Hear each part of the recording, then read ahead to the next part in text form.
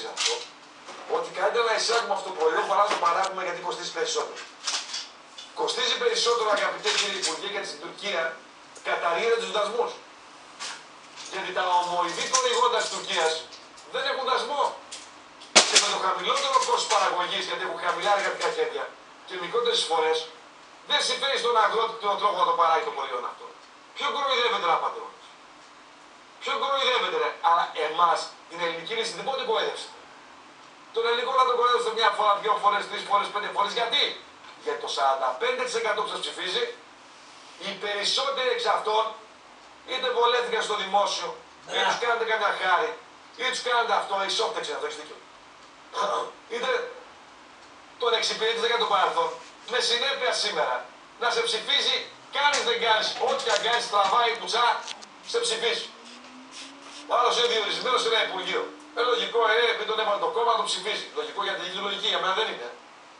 Για μένα δεν είναι λογική αυτή. Γιατί θα άφησε το υπόλοιπο 55% που δεν ψήφισε. Εγώ απευθύνομαι στο 55% αυτών που δεν ψήφισαν. Στον Ελλήνων πατριωτών.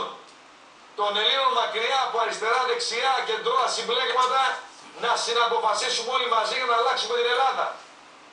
Δεν γίνεται διαφορετικά. Πρέπει όλοι μαζί από κοινού να αποφασίσουμε. Ότι θέλουμε αυτό και να πορευτούμε με αυτό. Ότι επιλέξαμε τον ορθό δρόμο της δουλειάς, του κόπου, του μόχ, του αγώνα για να αλλάξουμε την πατρίδα.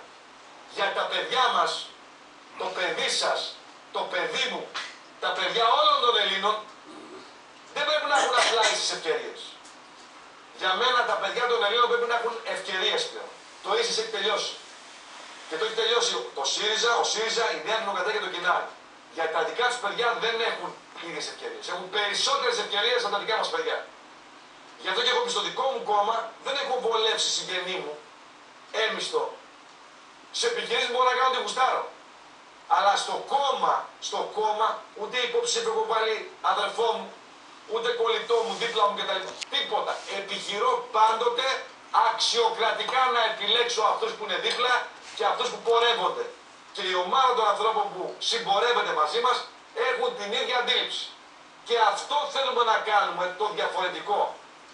Δεν είναι δυνατόν, και το ξαναλέω ακόμη μια φορά, δήμαρχος νησιωτικής περιοχής ή αντιδήμαρχος, επειδή έχει κάβα ποτόν ο ίδιος, να κυνηγάει, μου λένε, αυτούς που δεν παίρνουν ποτά από αυτόν, ή να είναι πολύ ελαστικός με αυτούς που παίρνουν ποτά και έχουν τη μουσική τέρμα και ενοχλούν τα ξενοδοχεία από δίπλα.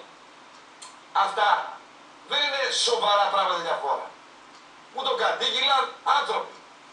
Και ξέρετε, επειδή έχω και ανθρώπους στην περιοχή, αυτοί οι άνθρωποι συγκεκριμένοι, ούτε έχουν μαζί του τίποτα, μου λένε ναι, έτσι είναι. Έτσι είναι. Εδώ ο πρωθυπουργός δεν παιδιά. Ανεμογεννήτες θέλει να βάλει όλη την Ελλάδα και η αδερφή του έχει σχέση με τα αιωλικά πάρκα. Ε, πείτε μου τώρα εσείς, πόσο να εμπιστευτώ, πώς να εμπιστευτώ αυτόν τον πρωθυπουργό; Όταν έβαλε την αδερφή του υπεύθυνη για αιωλικά πάρκα. Όταν οι κολλητοί του έχουν συμφέρον με τα αιωλικά πάρκα. Όταν τα, οι φίλοι του έχουν συμφέρον από ανεμογεννήτριες. Πώς λοιπόν εγώ να τον εμπιστευτώ; Ε, δεν τον εμπιστεύομαι. Ούτε αυτόν είναι την ηγετική ομάδα. Και αυτό κάνω έκκληση στο 55% των Ελλήνων. Ξυπνήστε επιτέλους, ελάτε, πορευτείτε με λογική, με σύνεση μαζί μας. Δεν μπορώ να πω κάτι άλλο.